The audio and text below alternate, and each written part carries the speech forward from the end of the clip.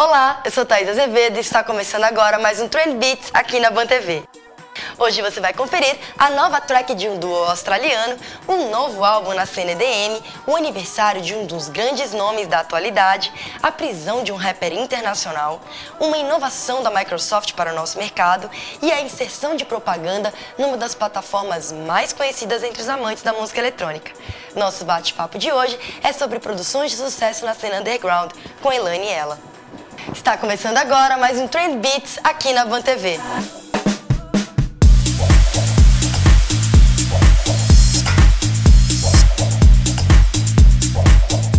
O duo australiano Knife Party apresentou o preview de uma track que estará em seu novo álbum Abandon Ship. A música Resistance estará disponível para download gratuito no dia 25 de agosto e o álbum seguirá logo após essa data. Antes do lançamento, você pode aproveitar para ouvir a música Boss Mode, que já está disponível no SoundCloud e traz pitadas de trap e hip hop americano. Um dos nomes mais talentosos da EDM, Porter Robinson, acaba de lançar um novo álbum com 12 faixas. Intitulado Words, Porter diz ter mantido sua essência originária do Electro House e revela que seu objetivo era fugir do comercial. E Zinvat, o papa da cena eletrônica underground mundial, completa 50 anos de vida, sendo que deles, 30 foram dedicados à música eletrônica. O artista fará uma festa no dia 25 de outubro, na cidade de Mannheim, na Alemanha.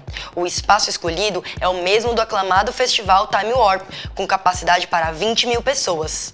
O line-up, que contempla 12 horas de música, traz ainda nomes como Rich Houghton, Luciano, DJ Coles e Alex Azari. O rapper Gucci Mane é preso em Atlanta. Após ter causado um grande número de infrações, como uso de drogas, porte de armas e desacato a autoridades, o rapper está preso e sentenciado a 39 meses de cadeia. Chegou a vez da Microsoft conquistar o seu espaço no cenário da música eletrônica.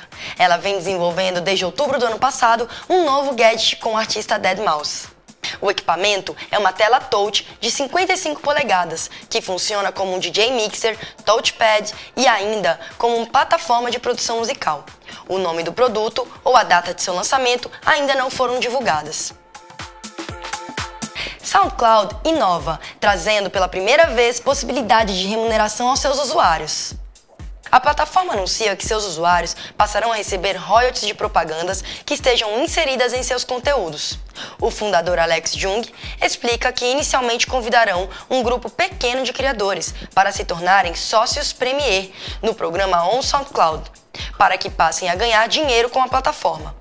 A ideia é introduzir propaganda de marcas selecionadas e, quando elas forem vistas ou ouvidas por algum usuário, a marca estará suportando aquele artista através de royalties. Mais informações no site da plataforma. Fique agora com o nosso bate-papo sobre produções de sucesso na cena underground com Elane e ela. Dificilmente as festas que acontecem no cenário underground atraem um grande número de pessoas. Hoje em dia, os grandes eventos estão sempre muito conectados ao EDM, a um cenário mais mainstream. Um dos grandes exemplos que quebra este paradigma no nosso mercado é a Festa Fervo, que está há cinco anos acontecendo dentro de uma cena techno e, e atrai um número gigantesco de pessoas cada vez mais. Para falar um pouco sobre isso hoje, nós convidamos Elane e ela. E aí, ela, tudo bem? Tudo, tudo bem. Obrigada por aceitar nosso convite de estar aqui hoje. Ah, muito obrigado vocês pelo convite, né, e pela oportunidade. Legal. Conta um pouquinho então pra gente, né, sobre a Fervo, é, como começou e o que, quais são os segredos para manter uma festa de um estilo tão específico hoje no cenário que a gente tem de música eletrônica no Brasil.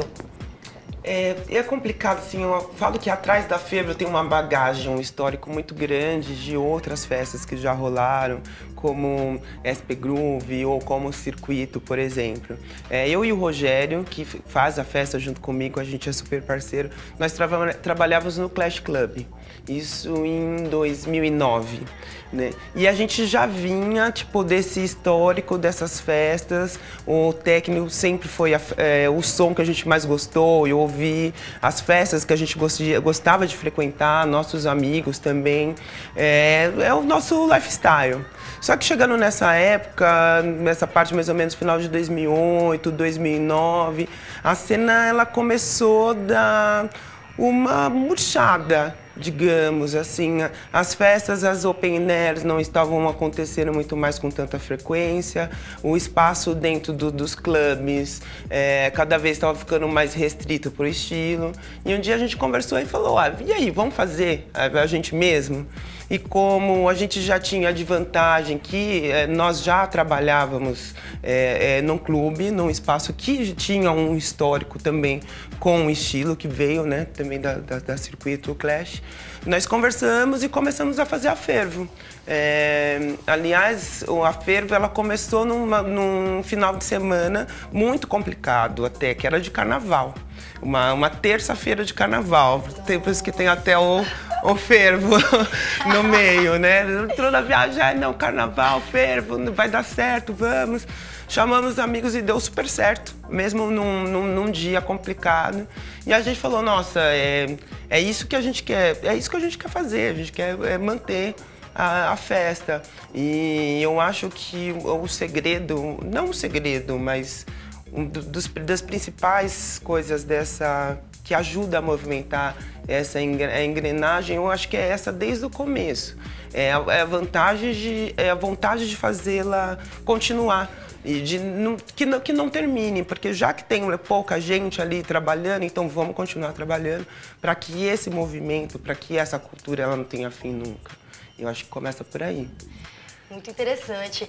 E que mais você pode falar a respeito é, é, de fatores que fazem com que as pessoas realmente vão até a FEV, conheçam, passem a conhecer, porque a gente não está falando só de, de novos, de, de, pessoas que já curtem a FEV desde o início, né? Uhum. A gente está falando de pessoas que vêm, que entram cada vez mais, né? Novos entrantes na cena, principalmente é, é curtindo techno.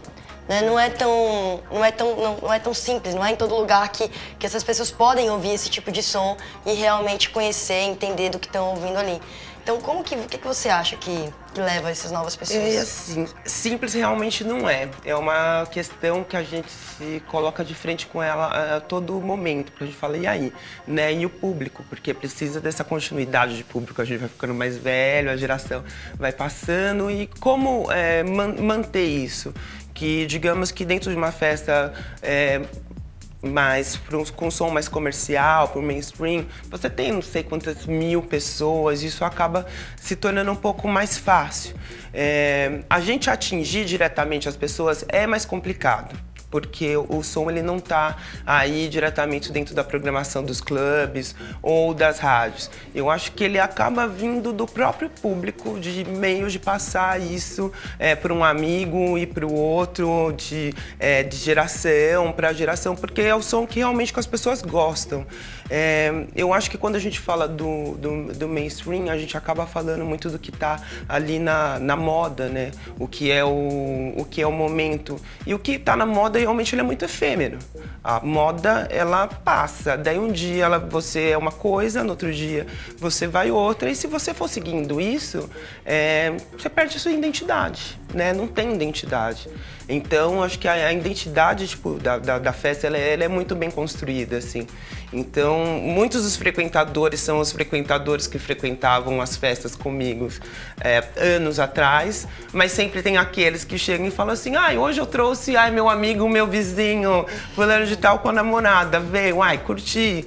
Vem o menino fala, nossa, que festa legal, na próxima eu venho e vou trazer, vou apresentar para para um outro amigo, porque realmente entrar dentro desse, é, desse caminho é, do mais do, do, comercial e realmente trazer esse público, ele, ele, é, ele, é, muito mais complicado. A gente tem que primeiro colocar ela dentro do, do circuito, é, fazer com que ela sinta a festa, escuta a, a música, para ela, ela gostar e se envolver com aquilo. Acho que a partir de, do momento que isso acontece, é muito mais fácil, assim. Bacana, muito interessante, é isso mesmo. Essa coisa de identidade, né? Você que tocou num ponto legal. Uhum. Identidade do projeto. É, qual você acha hoje que é a identidade da Fervo? A identidade da Fervo é, é uma coisa. Tipo, já tem ali a primeira. Um, é, é o rótulo, mas é, na verdade é uma festa de techno ela é uma festa de techno para todo tipo de techno, desde o low até o hard, é, o acid, por exemplo, que são estilos que realmente é, é cada vez é mais difícil você ter festas nesse sentido. E para valorizar, eu acho esses nomes que estão aí um, um, alguns há muito tempo e, e, não tem muito espaço. E vários novos que estão surgindo aí. Tem muita gente que toca é, tem muita gente que está que tá na correria que merece um espaço. Acho que infelizmente a gente até não consegue dar esse espaço para todo mundo que está aí. Mas a coisa ela ela se movimenta ela vai se movimentando Legal. Muita gente acha que é, essa questão do, do, mainstream ser muito mais forte, né, do, do, EDM ser muito mais forte do que o underground, é, isso acontece em todos os lugares do mundo. E nem sempre é assim. Nem sempre é assim né? Muitas vezes lá fora do Brasil, a gente tem um cenário muito forte do underground, a gente tem festas que dão aí 700, 800 pessoas que realmente estão ali para ouvir aquele som, que realmente querem ouvir aquele tipo de música, que sabem quem está tocando, que entendem do que estão ouvindo. Né? Isso, isso é uma coisa que dificilmente acontece aqui no Brasil. A gente não tem esse cenário aqui. Que fatores que você acha que contribuem para a gente não, não ter esse cenário aqui no Brasil hoje? Eu acho, primeiramente, ele é, é, cultural, né? Eu acho que tem aquela coisa que já está enraizada ali na, nas pessoas. Eu falo que hum, a última vez que eu fui para Berlim, uma coisa que me chamou muita atenção, que eu cheguei na uma das praças principais ali, tipo Alexanderplatz, e daí tinha um pula-pula. Era um pula-pula de família é, com um monte de crianças, mães tomando sorvete. E tava tocando, assim, uma tequineira, e a criançada, tipo, pulando, e as mães rindo. Isso você não vai ver é, acontecendo na praça, aqui, as crianças brincando com a família, escutando techno. Vão escutar os sons é, é populares, né? Então, acho que, primeiramente, é essa questão cultural tem é, no cultural também tem essa questão de acompanhar os modismos, né? E tem o próprio cultural positivo e negativo até dentro da, da própria cena underground, né? Porque tem gente que fala assim, puta, underground é, não, não tem dinheiro, underground é isso. Não, as pessoas é, tem que ser sujo, o underground ele não tem espaço, não, as pessoas elas confundem totalmente diferente uma coisa com a outra. Não tem, não tem nada a ver, né? Eu até falo que às vezes uma das dificuldades que aqui a gente tem, que acaba tendo que mudar também um pouco do, do diálogo com o tempo, é que você fala assim, ah, a pessoa ela tem grana para ir para Miami, ela tem grana para trocar de carro, mas puta, ela não tem grana para comprar um ingresso para ir na festa, Que, que, que ela gosta e é. que, ela, que ela vai se divertir. A cultura do VIP, uhum, né? É, a, a, cultura, tipo, ali do VIP. Então, acho que a, a primeiro de tudo é o cultural, vendo de, de, três pontos diferentes, das três formas diferentes, dentro da, da, de nós como sociedade, como a gente pensa à noite e o que, que a gente pensa e imagina que realmente é o underground, que é o mainstream. Muito interessante, é isso aí, é isso aí. Acreditamos que, que realmente é muito complicado você é, criar um projeto diferenciado, né, trazer aí é, é, é uma exaltação a, um, a uma determinada linha, sem que haja um investimento de ambas as partes, sem que haja um investimento uhum. de quem está produzindo, mas também de quem está frequentando, de quem está ali curtindo, de quem quer ouvir cada vez mais aquele som acontecer. Então, fica a dica aí pra galera, né? É, uma, é uma é. sociedade, né? Exato.